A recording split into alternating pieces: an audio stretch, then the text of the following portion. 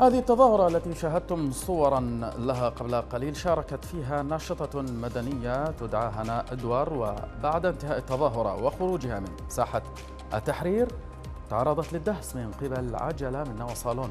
ناشطون قالوا إن الحادثة متعمدة بسبب موقفها من نور المالكي. الناشطة هناء تعرضت لكسور متفرقة وتم نقلها إلى مستشفى الشيخ زايد ببغداد.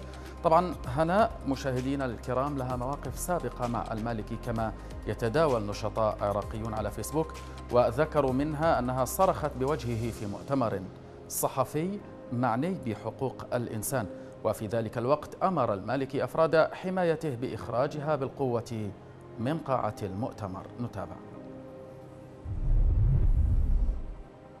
هذه الصور تبين كيف أصيبت الناشطة المدنية هنا إدوارد في أعقاب مشاركتها بالوقفة التي سعى من خلالها عراقيون إلى التعاطف مع أهالي ضحايا حادثة سبايكر.